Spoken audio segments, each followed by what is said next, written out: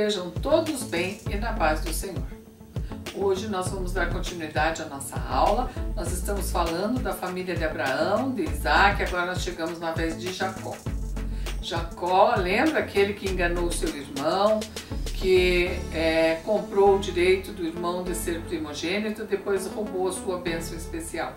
Quando ele fez isso, seu irmão ficou muito, muito zangado prometeu matar ele quando o papai tivesse morrido. E a mamãe ficou muito, muito nervosa e disse para ele: Jacó, meu filho, você vai lá para casa do seu tio e você vai achar uma esposa lá, você vai ficar lá até a ira do teu irmão se acalmar e eu mando chamar você. E o Jacó foi, pegou algumas coisas e foi. Não dava para levar muita coisa, porque ele não podia levar muita coisa pesada, porque ele tinha que andar a pé, né? Não tinha carro, não tinha é, nenhum meio de transporte, ele ia a pé. Então ele foi, foi, foi, e ele estava cansado, ele estava pensando na vida, né? E ele estava triste, foi ficando triste, foi ficando triste. E aí ficou de noite. Quando chegou de noite estava frio, ele estava lá na montanha, estava frio, ele tinha medo de bicho, né? Podia ter alguma, um leão da montanha, podia ter algum urso, alguma coisa lá que podia atacar ele. Ele estava já com saudades da mamãe porque ele não se afastava muito de casa, nem da mãe. Estava sentindo falta da sua cama macia e ele não tinha nem um travesseiro para dormir. Ele pegou uma pedra, deitou em cima, pôs a cabeça na pedra e foi dormir. Quando ele estava dormindo, ele teve um sonho. O sonho do Jacó foi o seguinte: ele viu uma escada que descia lá do céu até na terra, e os anjos subiam e desciam essa escada. E aí ele pensou assim: "Nossa, achei o um portal. Aqui é a porta do céu que vai que vem do céu para a terra e da terra para o céu". E Deus estava lá. O Senhor Deus falou com ele, disse: "Jacó, você não fique nervoso, não fique assustado, não fique triste, porque aonde você for eu vou com você, eu vou te abençoar. É, eu prometi a Abraão e eu vou cumprir. A tua descendência será muito grande, você vai ser próspero, vai ser dono de muitos é, animais, muitos rebanhos. E tudo que você fizer vai dar certo, porque eu vou com você onde você estiver. Ele acordou e ficou nervoso, ficou muito, muito assustado. Falou: Nossa, esse lugar aqui é especial, é diferente, porque Deus está aqui nesse lugar. E aí ele disse: Nossa, eu não sabia disso. E quando o dia amanheceu, ele levantou, pegou a pedra que ele tinha feito de travesseiro, e pôs ela de pé e derramou óleo sobre ela e consagrou como um altar ao Senhor, a Deus Todo-Poderoso. E ele falou: esse lugar vai se chamar Betel, porque aqui Deus falou comigo. E aí ele continuou a viagem, continuou, continuou, demorou para chegar lá na terra onde o tio dele morava. E ele chegou e viu vários rebanhos, né? E falou: Olha, gente, vocês conhecem um homem chamado Labão? Ele é meu tio e eu vim para conversar com ele, mas eu não sei onde é, é a casa dele. Aí as pessoas que estavam por ali falaram assim: Olha, fique aqui mais um pouco, que daqui a pouco vai chegar a filha dele com os rebanhos. Ela vem dar água, vem tirar água do poço para dar água para os rebanhos. E aí quando ele olhou, ele viu uma moça muito linda. Ele achou ela muito, muito linda. O nome dela era Raquel. E ele se apaixonou por ela. E ele contou para ela que ele era primo, conversou, chorou. Ela foi lá para casa dela, contou tudo pro pai. O pai dela veio, recebeu ele, falou: "Não, você vai ficar com a gente lá em casa, tudo na boa". E ele foi sempre olhando e se apaixonando cada vez mais pela Raquel. E aí ele disse: "Tio, eu quero casar com a Raquel". Aí o pai, o tio dele falou assim: "Mas escute, que história é essa?" Você veio uma mão na frente e outra atrás, você não tem nada? Como é que vai pagar o dote? Como é que vai casar assim, sem nada? Aí ele pensou, pensou, falou: Não, eu amo essa moça, eu preciso casar com ela. Tio, eu tenho uma proposta. Eu trabalho sete anos para pagar o dote dela. E aí eu caso com ela. E o tio disse: Ah, eu acho que é uma boa ideia. Gostei dessa ideia. E aí ele trabalha sete anos, mas ele não sentiu passar os sete anos, porque ele trabalhava com gosto, com alegria, porque ele sabia que ele ia casar com a moça que ele amava. E aí chegou o dia do casamento, aquela festa, vários convidados, muita comida. E aí ele casou. Só que de manhã, quando ele olhou, Ei, você não é a Raquel. Não, era a Lia. A Lia é a irmã da Raquel. Ele ficou muito zangado, descobriu que ele era um trapaceiro, né? Lembra? E o tio dele era mais trapaceiro ainda. Trapaceou. Em vez de mandar a Raquel casar com ele, mandou a Lia casar com ele. Mas ele não amava a Lia. E ele ficou muito, muito zangado. E foi falar com o tio, disse, tio, que história é essa? Eu paguei, eu trabalhei sete anos pela Raquel. E eu não queria casar com a Lia. Daí o tio disse, ah, mas aqui é assim. Agora você casou, tá casado, não pode desmanchar. Outra coisa, aqui a mais velha nunca fica solteira enquanto a mais nova casa. Tem que casar primeiro a mais velha e depois a mais nova. E ele ficou muito bravo. Mas aí ele falou pro tio, tio, eu tenho uma proposta para te fazer. Eu trabalho mais sete anos e caso com a Raquel. Porque eu amo a Raquel. Eu quero casar com a Raquel. Aí o tio falou, tá bom. Aí ele trabalhou mais sete anos para pagar o dote da Raquel. E aí o que, que aconteceu? A Raquel e a Lia, duas esposas. Aí o papai deu uma serva para Raquel e uma serva para Lia. E a Lia, desprezada, ela não era tão bonita que nem a Raquel, e ela não era o amor da vida de Jacó. E ele, assim, desprezava ela, ele gostava, amava a Raquel, tratava melhor a Raquel. Ele não judiava da Lia, mas também não agradava muito ela. E ela foi ficando triste, triste, e de repente ela ficou grávida. E ela falou: Ah, agora meu marido vai gostar de mim, porque eu vou dar um filho para ele. A Raquel não está grávida. E ela teve um filho, teve dois, teve três. E aí a Raquel nada de ter filho. Aí ela pegou e falou assim: agora eu vou dar minha serva para o meu esposo ter filho com ela, para a gente ter mais filho. E foi isso que ela fez.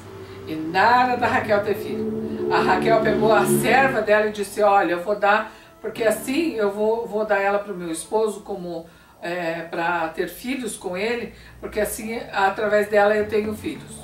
Pronto. E nada dela ter filho. E ela foi ficando triste, triste, triste. Lembra que naquele contexto a mulher que não tinha filho era sinal de que Deus não estava abençoando ela, né? Ela não tinha a bênção de Deus.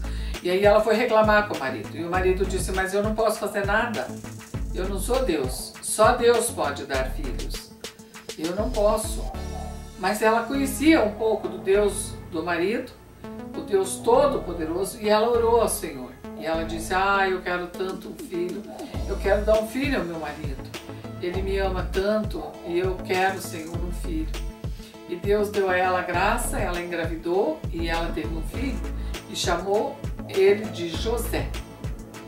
Então, aí ela ficou muito feliz e o Jacó também. E o Jacó amava tanto a Raquel e amava tanto a José.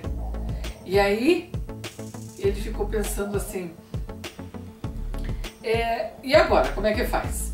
Eu trabalhei para o meu sogro para pagar o dote das esposas, mas agora eu tenho filhos. Eu preciso ter o meu próprio rebanho, eu preciso ter salário, eu tenho que ganhar alguma coisa para mim para minha família. Aí ele foi conversar com o tio e o tio falou assim para ele: Olha, é, eu não sei como é que a gente podia fazer isso. Aí ele pensou, pensou e falou assim: olha, vamos fazer uma coisa? As ovelhinhas que são, era bem pouquinha que nascia, marronzinha, nascia pretinha, nascia malhada, pintadinha, listadinha. Eram poucas as ovelhas que nasciam assim. Aí o tio fez uma proposta para ele e falou assim: olha, todas as ovelhinhas que nascerem pretinhas, marronzinhas, manchadinhas, elas são suas, tá bom? querendo trapacear. E ele disse, tá bom. Aí ele pegou um galho de árvore e fez um monte de listas assim, ó, com canivete, no, no, no galho da árvore, e punha lá onde as ovelhas iam tomar água. Aí elas olhavam para aquilo lá, levavam um susto. E aí o que aconteceu? Nasciam bastante ovelhinhas pretinhas, manchadinhas, marronzinhas, e aquele monte de ovelhas, tudo pintadinho.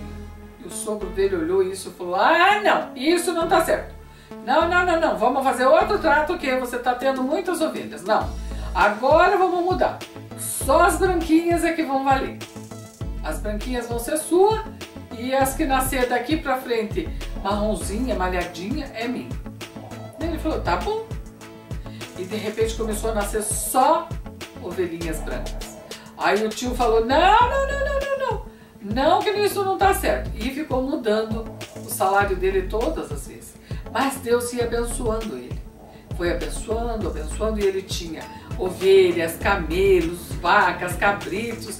Ele tinha de tudo. Deus abençoava ele em tudo que ele fazia. Lembra que Deus tinha prometido as bênçãos? E Deus estava cumprindo todas as bênçãos que Deus prometeu. E aí chegou um dia que ele já tinha 11 filhos. E ele já tinha um rebanho imenso. Ele era um homem muito rico. E Deus falou para ele assim: agora está na hora de você voltar para sua casa, para tua terra, consertar lá, pedir perdão para o seu irmão. Agora já deu. Agora você vai pegar a sua esposa, as esposas, os filhos, os rebanhos e vai embora para sua terra. E aí ele pensou: eu vou, eu vou obedecer a Deus, mas tem uma coisa: meu sogro não vai gostar.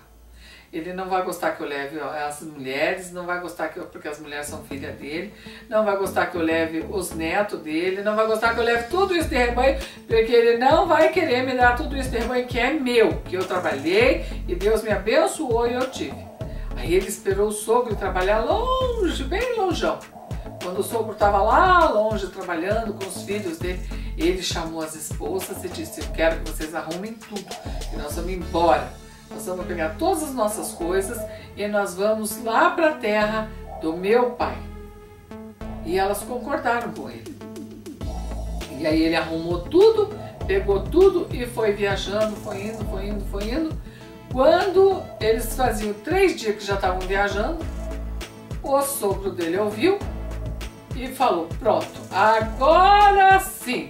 Ele fugiu eu não quero que ele leve os rebanhos, eu não quero que ele leve as crianças nem as, as esposas, que são minhas filhas. Eu não quero isso. E ele vai dizer que esse rebanho, toda essa riqueza é dele, mas agora pronto, eu digo que não é. Eu vou tomar tudo de volta, eu vou trazer tudo de volta.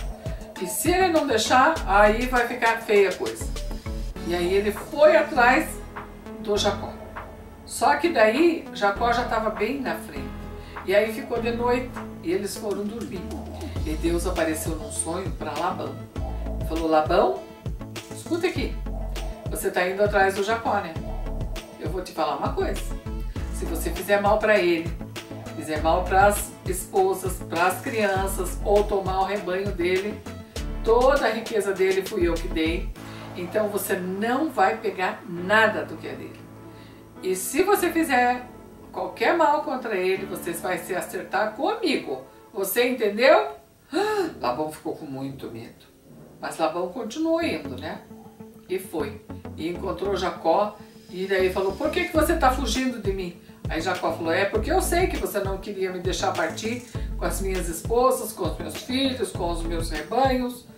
E aí ele disse: É verdade, eu não ia deixar mesmo e eu vim disposto a levar tudo de volta.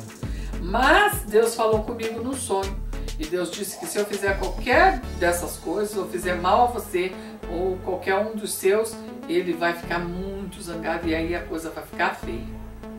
Eu, então eu não vou fazer nada de mal contra você. Você vai, pode ir embora com todas as tuas coisas, com as esposas, com os filhos.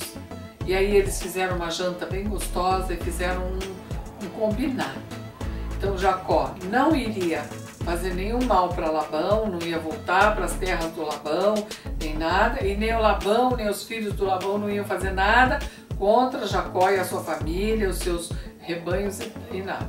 Aí eles se abraçaram, se despediram e o Labão voltou para casa e o Jacó continuou. Aí quando ele já estava indo lá, estava assim quase chegando nas terras do seu irmão, das terras que foram do seu pai, ele foi ficando com o coração apertado, muito angustiado, com medo. E ele pensava: será que o meu irmão me perdoou? E se ele não me perdoou? E se ele quiser me matar? E se ele quiser fazer mal para os meus filhos, para minhas esposas e tomar todo o meu rebanho de mim? Porque eu enganei ele. Então ele pode querer tomar tudo de mim, né? E aí o que, que eu vou fazer? Como que eu vou fazer? Aí ele pegou e pensou, mas Deus está comigo, os anjos do Senhor estão comigo. Mas mesmo assim ele continuou com medo, com muito medo.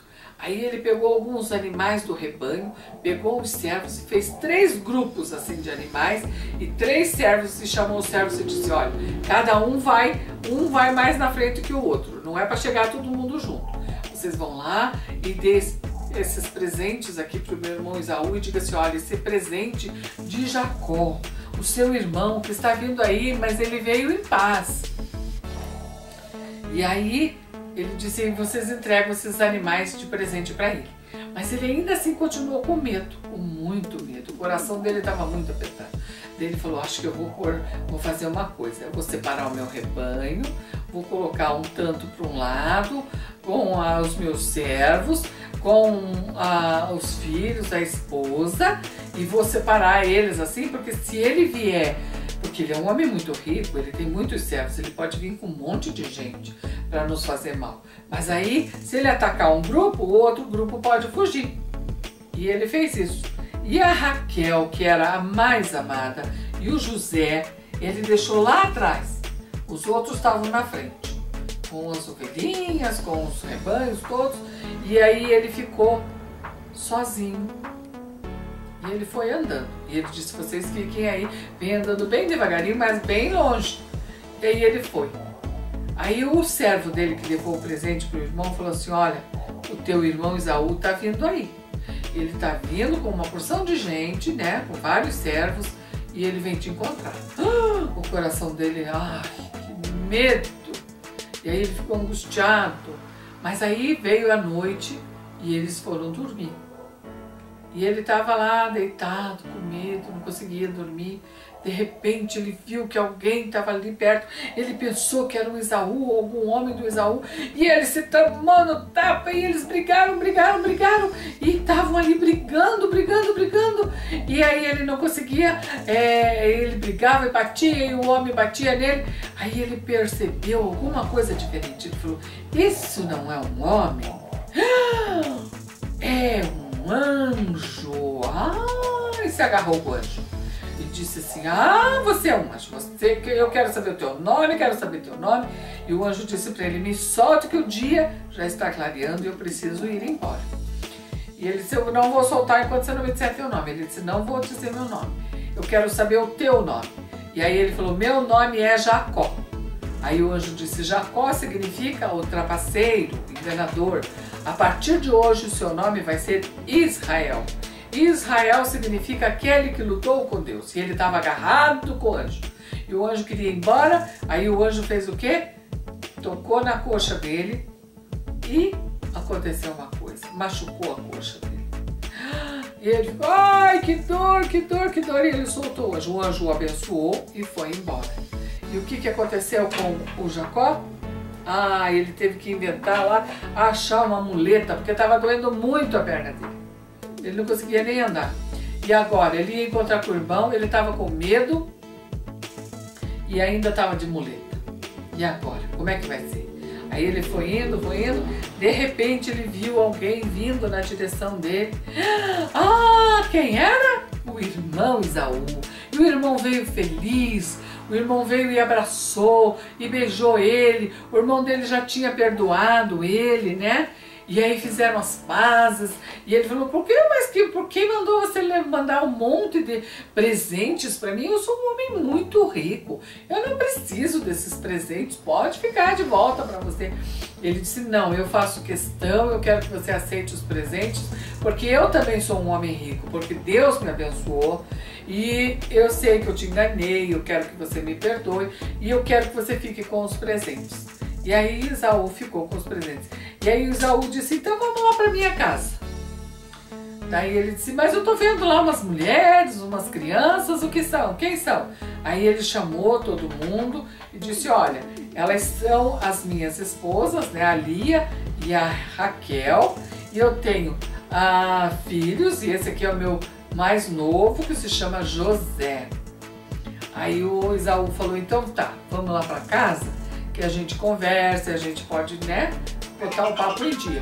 E aí o que, que aconteceu? Aconteceu que o Jacó falou assim: Olha, eu acho que é melhor sair na frente.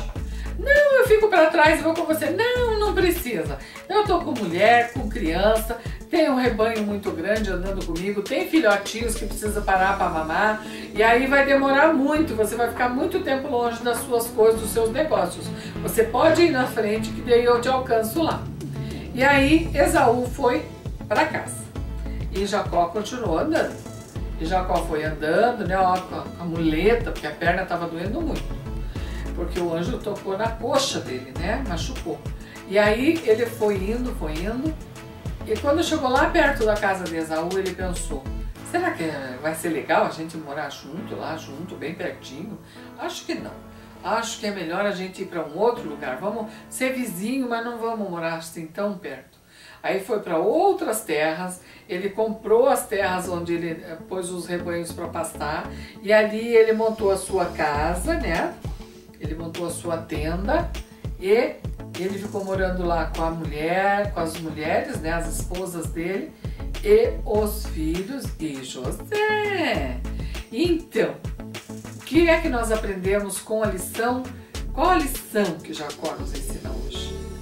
Que ensina, nós aprendemos com essa história do Jacó, que mesmo quando nós fazemos coisas feias, coisas erradas, coisas que Deus não se agrada, Ele nos abençoa, Ele nos perdoa e ele nos ama do mesmo jeito. Quando Jacó lutou com o anjo, ele não fugiu do anjo. Quando ele viu que era um anjo, ele se agarrou mais forte ainda.